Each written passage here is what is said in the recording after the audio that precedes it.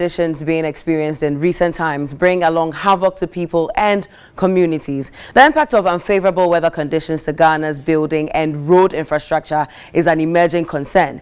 In this piece, Kofi Edu Domfe turns attention to the construction of roads and bridges in Ghana in the face of global climate change phenomenon.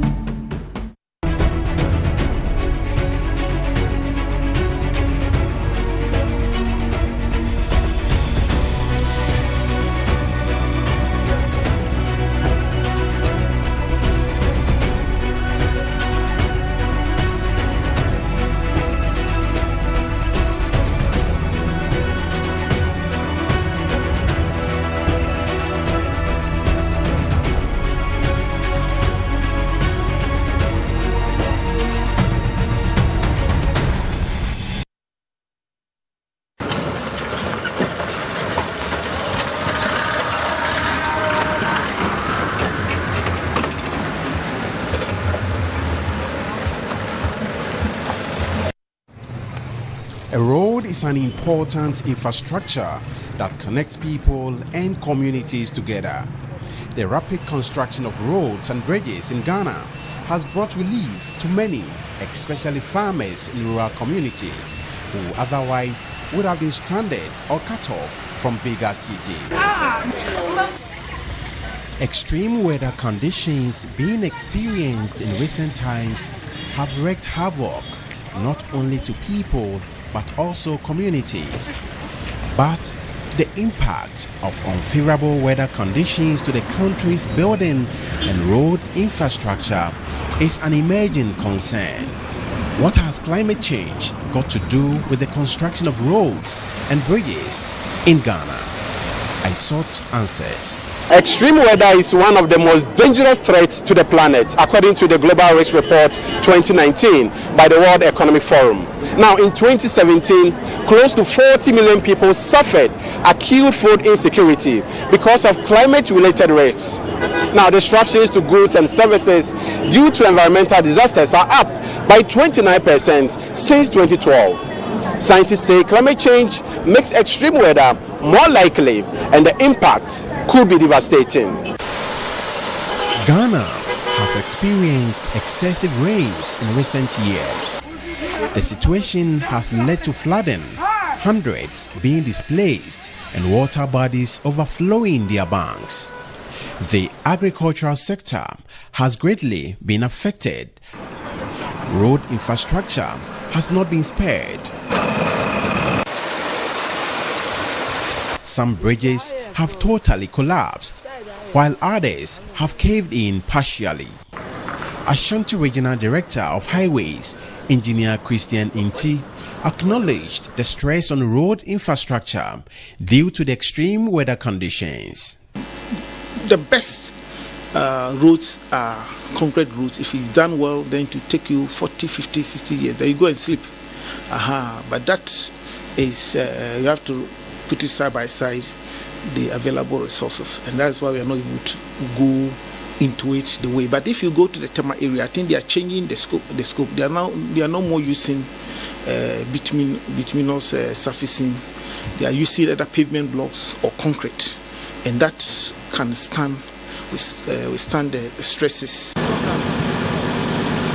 Ghana has a huge budget in building road infrastructure across the country, including the construction of culverts and bridges.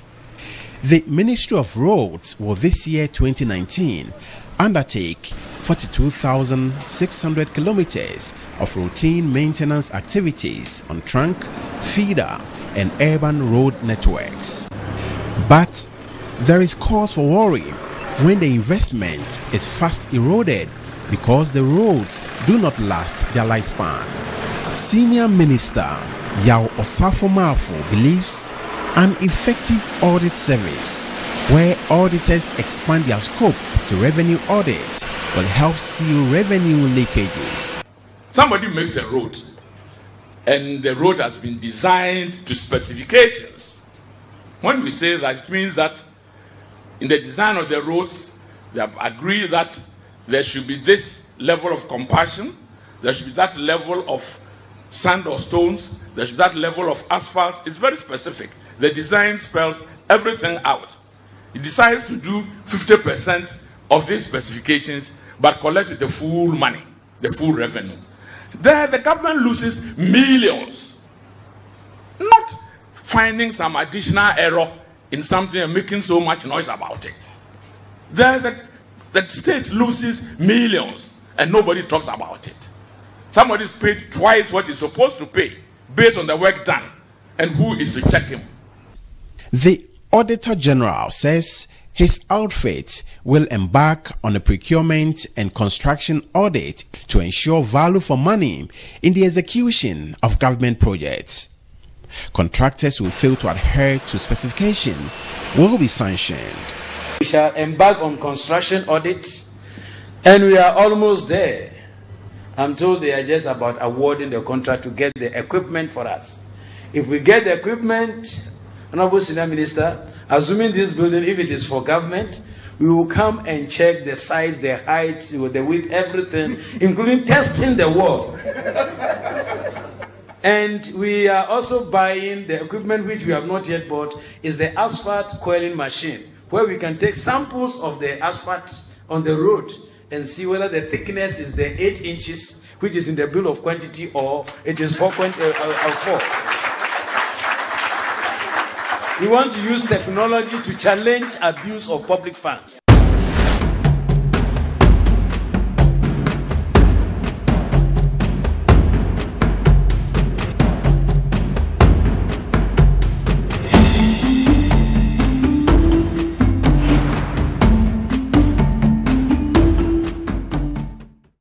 That was put together by Kofi Edu Domfe um, in Kumasi, the Bureau Editor of Media General. He joins us in the studios today via Skype. Hello, Kofi. You're welcome. How are you doing? Very good, Christoph. Thanks awesome. for having me. Awesome, awesome. Um, what inspired you to um, do this documentary? Well, I, I think uh, the climate phenomenon is something that is global. Um, in Ghana, over uh, the past decade or so, there's been a lot of a lot of talk on the need for us to be climate resilient. But mm. oftentimes, uh, when we talk about climate change, the emphasis is on the agricultural and uh, food security sectors. Mm. But um, I was uh, rather looking at some of the areas under the country's um, uh, climate policy. And one of the major um, policy areas is climate resilient in the infrastructure sector. Mm. So I was rather trying to draw our attention to the fact that um, it's not only the agriculture and food um, sectors that are really affected by, by climate change, but there are other sectors of the economy. In fact, almost every aspect of the economy is affected by this phenomenon called climate change. Uh, so the focus was to look at the road and um, bridges sector to, to really see how we can build climate resilient infrastructure going into the future. Okay, good one. You raised a lot of issues in there. But putting this piece together, did you encounter any challenges? Well, I think um, the challenge has to do with the availability of uh, research to look at how uh, the country can really go into the future, um, looking at how we can access data to see the impacts uh, that we are currently experiencing regards climate change. You realize that um, we've been complaining as a country that um, we need to have some good roads and bridges being built. At the same time, the government is currently building a lot of roads across the country, but most of these roads do not last their lifespan. Oftentimes, mm. we, we blame the contractors for doing shoddy works and all that. But the issue had to do with the other aspect that the country is not um, looking at, how climate change is really affecting. As we speak now, we are in September, and the rains are here with mm. us, and um, we are asking ourselves, is it the time for the rains to come? Mm. At the same time, some roads are being constructed, some bridges are being constructed. What are the likely impacts of the rains? At the same time that we are building this um, infrastructure. So availability of data is the major challenge that I, I foresaw. Um, and, and it was very clear um, on the field that we don't have the data to back how climate change is affecting our infrastructure sector. Okay, so do you think that um, we are paying enough attention to climate change?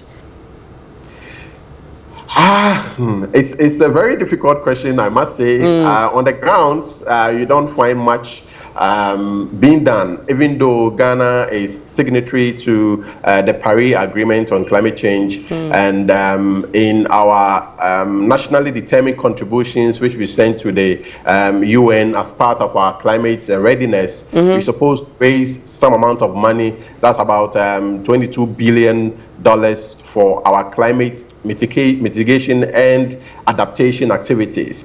But if you go to the grounds and talk to local communities, uh, farmers, especially people in the coastal areas, generally you don't see what we are doing in terms of adaptation. Mm -hmm. um, what the country is really doing in terms of um, building for the future. You don't find that on the ground. So I would say that we have the right policy frameworks. We've mm -hmm. been signatories to the international um, documents on climate change, but on the grounds, a lot more needs to be done so that we do not suffer uh, this phenomenon called climate change uh, in the future. Already we are vulnerable, I must say. We are very vulnerable. Mm. So we need to have some um, strategic adaptation strategies being implemented okay. for, for the country to, to really um, see a good future. Okay, so um, essentially, what, what exactly are you trying to achieve um, with this documentary?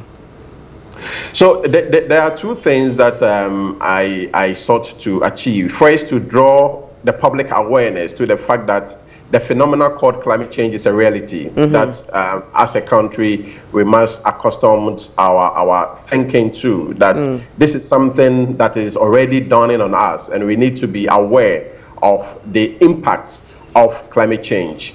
And secondly, with this particular piece to let uh, duty bearers, interest groups, uh, researchers, and all other parties be aware of the fact that there is likely to be a devastating impact of climate change on our roads, um, infrastructure. And therefore, this is the very time that we need to start thinking how best we can build for the future. If we are giving contracts out, how do we factor in climate related issues? For instance, how resilient would the materials be if um, the, the, the, the sun should be that high, if mm. the rain should be that massive, mm. how can we ensure that the contractors have this climate aspect incorporated mm. into their, their contracts so that we, we really plan for the future and are not found wanting um, when we invest so much into this sector and um, uh, it doesn't really last um, the lifestyle, the lifespan that we expect as a country.